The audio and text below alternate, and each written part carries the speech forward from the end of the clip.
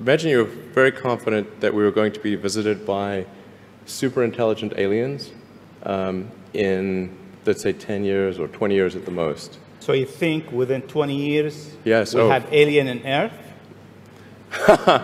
Well, eh, digital superintelligence will be like an alien. It will be like an alien. Yeah. But, but my question is, do you think there is other intelligent life outside the Earth? It seems probable, but I think this is, this is one of the great questions in physics and philosophy, uh, is uh, where are the aliens? Maybe they're among us, I don't know. Uh, some people think I'm an alien. Not true. Not true.